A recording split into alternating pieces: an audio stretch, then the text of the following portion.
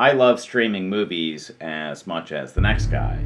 It's immediate, it's efficient, it's convenient, it's cheap.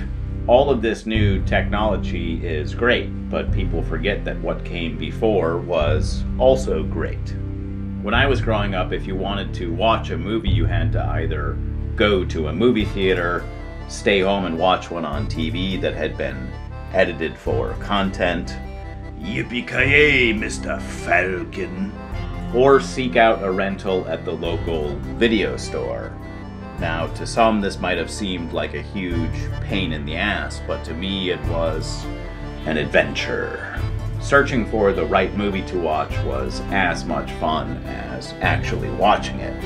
It was the thrill of the chase as you walked through the video store trying to find that perfect rental. Sadly, Netflix took over, first by shipping DVDs. Remember these? And then eventually moving on to streaming.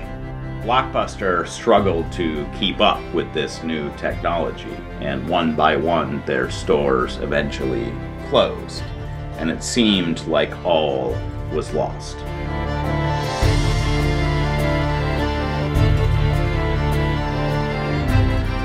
So I was browsing Netflix a while back came across a documentary entitled The Last Blockbuster, and my interest was immediately piqued.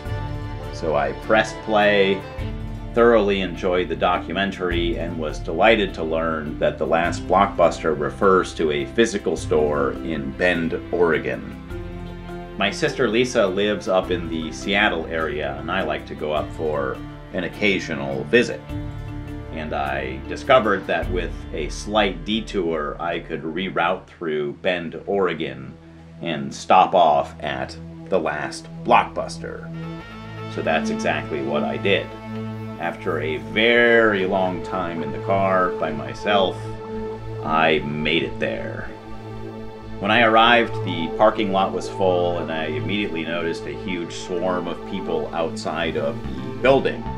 It seemed like it was mostly adults and people my age. They were all taking pictures of themselves in front of the blockbuster like it were some kind of historical monument. I was very happy to learn that they allowed filming inside the store, so I quickly retrieved my GoPro from my pocket, hit record, and started to point and shoot. They had DVDs and VHS tapes for sale and for rental. They had displays and memorabilia.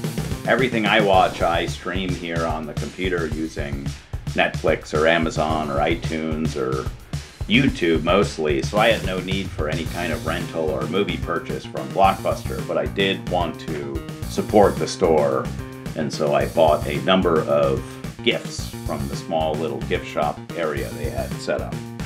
I bought three 500 piece puzzles, each with a different movie poster as a design. Each comes in a very cool replica clamshell case that you'd get for a VHS rental from Blockbuster back in the day. And last but not least, a very stylish pair of blue sweatpants with the Blockbuster logo running down the side. Back with another pair of those Blockbuster pants!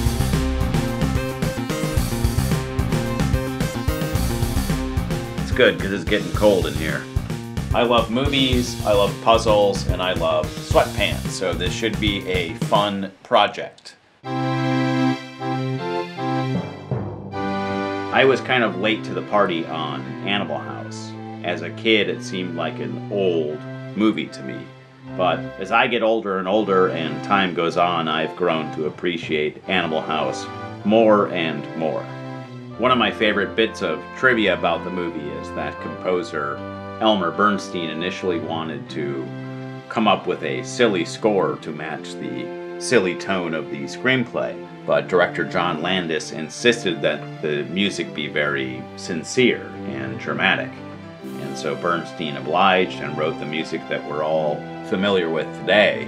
But I think the score really elevates the story to a higher level.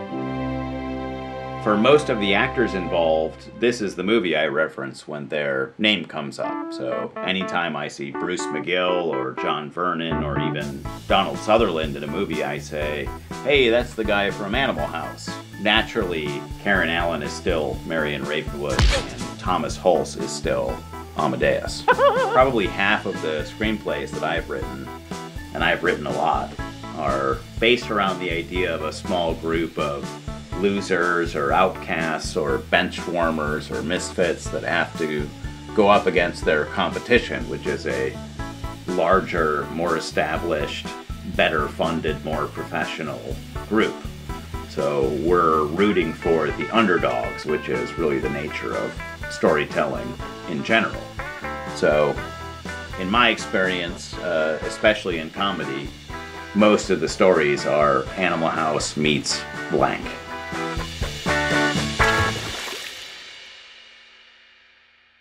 Fat, drunk, and stupid is no way to go through life, son. This is Elliot tries really hard not to embarrass himself. Take two.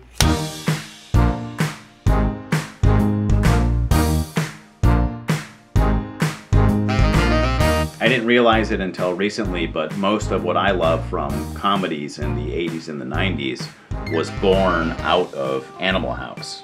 So this was the first attempt by National Lampoon to branch out from the world of magazines and actually do a feature film.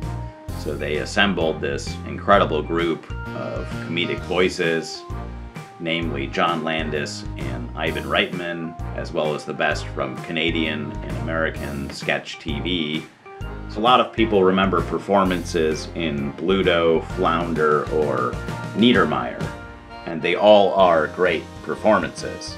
But for me, it's Tim Matheson's Otter that really steals the show. The issue here is not whether we broke a few rules or took a few liberties with our female party guests. We did. It's not gonna be an orgy, it's a toga party. No more fun of any kind. I'm not joking. This is my job. We can do anything we want. We're college students. Remain calm. All is well. Women. Can't live with them. Can't live without them.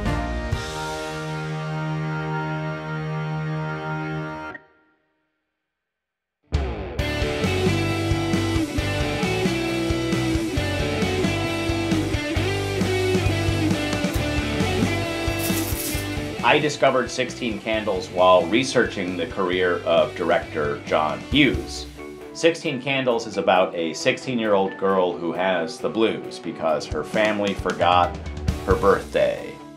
I always found it difficult to relate to this movie because I'm not, never was, and never will be a 16 year old girl. Cheers. Also, I get excited when people forget my birthday. So if anyone is looking to get me a gift this year, that would be a great one. I always found it much easier to identify with John Hughes's male characters, namely those played by Macaulay Culkin, Matthew Broderick, and John Candy.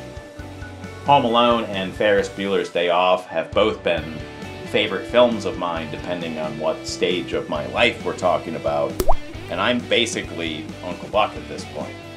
Much like Animal House, 16 Candles was also born out of the National Lampoon magazine. John Hughes used to work there as a writer. In fact, the Vacation movie was based off of a story of John Hughes when he was a child on vacation with his family. And so through National Lampoon, he got connected with Harold Ramis and yada yada yada. 16 Candles was the first time that John Hughes was trusted with directing a movie.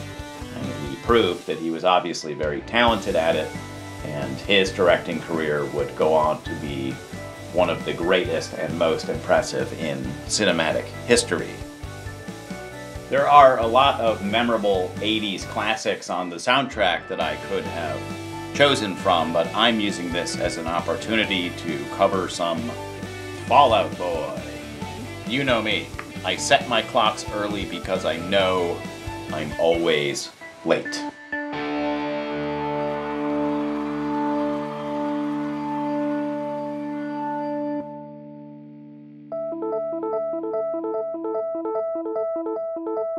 It's showtime. Beetlejuice is arguably my favorite of the Tim Burton films, and Tim Burton is one of my favorite directors. He has a particular style and artistic flair, and it's very easy to identify his work, even seeing just one single frame. His movies during this era were very cinematic, with a great blend of the macabre, comedy, action, heroes, anti heroes, villains. Just everything that's great about movies is on full display here in Beetlejuice. One of my favorite things about movies in general is the music. And one of the best composers is obviously Danny Elfman. His working relationship with Tim Burton has led to an endless string of unforgettable classics. Danny Elfman doesn't really do it here in Beetlejuice, but in a lot of his later works with Tim Burton, he gives himself a big dramatic swell in the music when his name appears on screen. When I first noticed it, I thought, hey, that's kind of a cocky thing for the composer to do. That's kind of vain and self indulgent. But then, as I came to appreciate how much Danny Elfman has done for the world of music and soundtracks, I say, go for it. And now every time I see that happen in a movie, I get really excited. And every time I compose something myself, I try and give myself a, a big dramatic swell when my name appears. Of course, if you're a legendary composer like Danny Elfman, you can effortlessly get away with it and people will think it's cool. If you're a no name hack like Elliot Diviney, it's a little harder to pull off.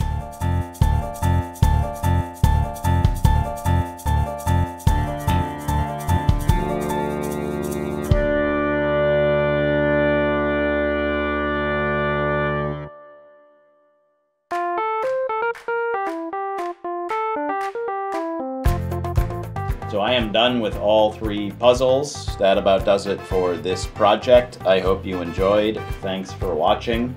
If you have a Netflix subscription, be sure to check out the documentary. And if you're ever in the Bend, Oregon area, make sure you stop off at the last Blockbuster. As for now, you'll have to excuse me because I have a sandworm to animate.